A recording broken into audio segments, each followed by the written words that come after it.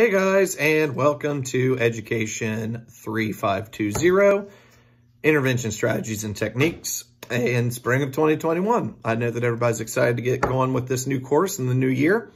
So let's dive into it. First of all, I'm Josh Cooper. I'll be your instructor. Everything that we do in this course will be online. So I will be uploading videos weekly on Wednesdays and all of your assignments are due on Fridays by midnight. So running through the syllabus. Um, first of all, my information is listed, uh, my office phone number and my email. I like to communicate primarily through email, so please email me if you have any questions. The resources for this class, um, first of all, the book, The Differentiated Classroom. Uh, make sure that you guys get this. We are going to start reading in it next week.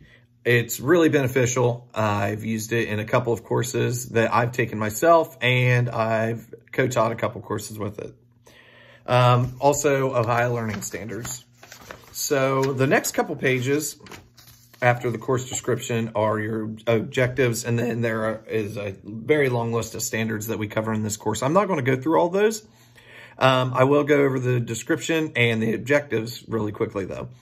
This course will provide pre-service teachers with opportunities to develop classroom management and instructional methodologies for children who have reading disorders, such as dyslexia, and those who struggle with behavioral, emotional, developmental, and physical disabilities. Candidates will also explore the needs of students who have been affected by substance abuse, um, substance addiction, and adverse child experiences.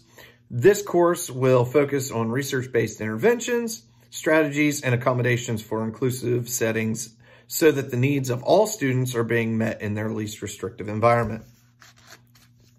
Objectives. The teacher candidate will differentiate instruction and activities for all learners and learning styles, discuss how or discuss and determine how to assess and evaluate students who require testing and uh, their accommodations, determine how to execute ways to provide physical and adaptive accommodations as well as research-based strategies, techniques, interventions to all students with various disabilities, learn how to collaborate and partner with all related services and therapy providers, examine the opioid epidemic as well as various kinds of substance abuse and be able to provide research-based intervention to adequately accommodate students with a variety of sensory, physical, behavioral, emotional, and developmental disabilities.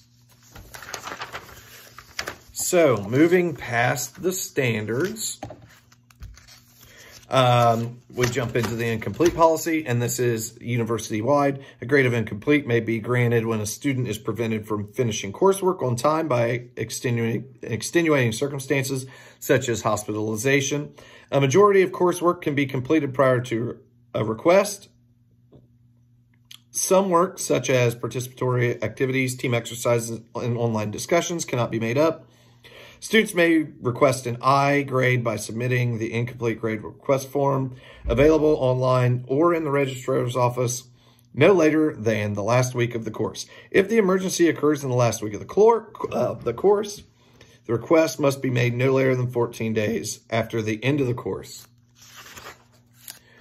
Student, uh, the withdrawal policy um, is basically the same university-wide, so I'm not going to jump into that.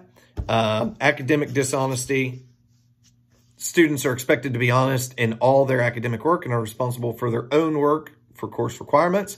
Scholastic dishonesty is a violation of both academic standards and biblical teachings, and it is an affront to other students and the faculty. Academic dishonesty includes cheating, plagiarism, submitting a paper or project that was entirely done by you or was entirely done by somebody else, submitting the same paper as someone else and not going to your field experience or forging your cooperating teacher's signature. We don't have field in this course, so you don't have to worry about that one. Uh, disability services. Ohio Christian is committed to the entire student body, including those who need accommodations for disabilities. In accordance with Section 504 of the Rehabilitation Act of 1973 and the Americans with Disabilities Act, the university will provide reasonable and appropriate accommodations for individuals with disabilities on a case-by-case -case basis. Accommodations are made in relation to a documented disability. The university will collaborate through its 504 compliance officer with appropriate external agencies to provide some accommodations. 504 compliance officer is responsible for coordinating Ohio Christian University's effort in complying with applicable federal and state laws and regulations, including the university's duty to address any inquiries or complaints regarding discrimination or denial of equal access. Student must complete the form provided by the compliance officer with appropriate documentation. The documentation must be within three years of the first request to OCU, must include information that, diagno uh, that diagnoses the disability, that indicates the severity and the longevity of the condition, and that offers recommendations for necessary and appropriate auxiliary aids or services, academic adjustments, or other accommodations in addition to this form. A qualified professional must complete the verification of disability form provided at the link below. Any additional questions or comments, you can direct them to the compliance officer, and I have placed their contact information in the syllabus. Attendance policy. So this is the attendance policy that is from the university. Um, as far as this course goes, we have a participation requirement that will be your attendance policy. So that is as follows. You are required to participate in the course discussion board. Each week we'll have a different discussion board. Um, I will post a guiding question or statement, um, basically the theme of the discussion board, and you need to comment twice. And that's it. Um, also, you need to send me uh, your question of the week for the weekly video. So let's go into assignments for this course. As I said before, you're going to get five points a week for participation in the class. The next assignment is the annotated bibliographies. So in these, you will identify, read, and annotate a peer-reviewed journal article related to course readings. Remember that a scholarly annotation both summarizes and evaluates an article. For the purposes of this one to two page single-spaced assignment, you should do both. You're required to complete five ABs. Each of those is worth 100 points. So there's 500 points for ABs, differentiated mini lessons. Students will prepare five lessons with differentiation for various exceptional learners and present it in a 10 to 15 minute video. This video will either be uploaded onto YouTube or you can send me a direct link.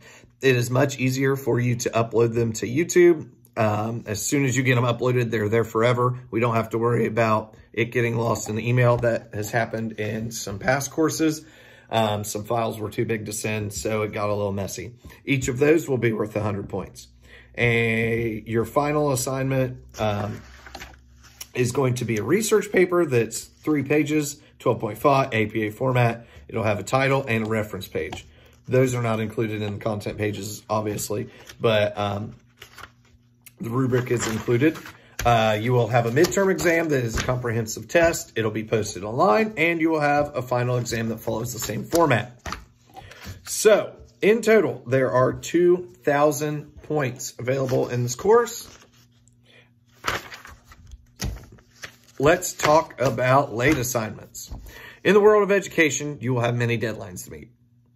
Your principal will expect that your grades will be submitted on time, lesson plans turned in, and your documents written by a specific date. An assignment not turned in on the day it is due is considered a late assignment. A student has one week to turn in a late assignment with a 10% reduction in points. After this one week period, late work will not be accepted. So, to make this perfectly clear, if you don't have your assignment in by 11.59 on the due date, it is late. You can turn it in anytime for the next week and you'll have a 10% reduction in your score. After one week, it is null and void. You'll receive no points for that assignment. This course includes discussion posts that are due on Fridays by 11.59 with responses to at least two peers completed by the following Thursday at 11.59. Discussion posts that are late will not receive credit. So you guys, I will post your discussion post. Um, probably on Friday. You guys will be able to make your initial response and then comment on other people. So just to get us some interaction. Um, I'm not the most Um, I'm not a big fan of discussion boards, but with us not being able to get together, I think that it's important that we do have conversations. So I'm not going to grade you on the content. I'm going to just grade you on interacting with each other. All right, so if you look at your course schedule, this week we are simply doing the overview. Next week you are reading chapter one and your AB1 is due by the 15th at 11.59. Um, the next week you are reading chapter two, mini lesson number one is due. Uh, the week of the 25th, you're reading chapter 3. AB number 2 is due.